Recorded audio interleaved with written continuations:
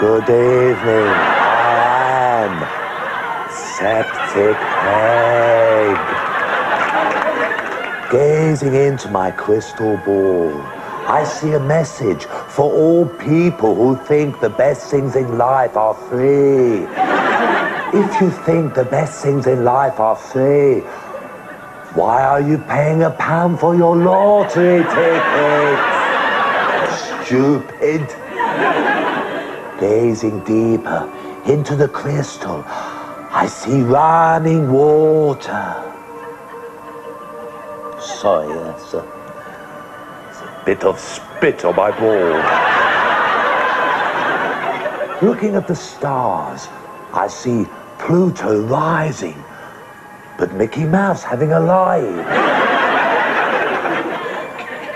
For young children, I see a long, long journey by car that will involve them passing water. I see John Major winning the next election. Eric Cantona winning Sports Personality of the Year. I see Madonna becoming a nun. Pavarotti singing the Birdie song. I see Ken Dodd only doing 20 minutes. I see Bob Geldof having a loss. Leave me alone, please.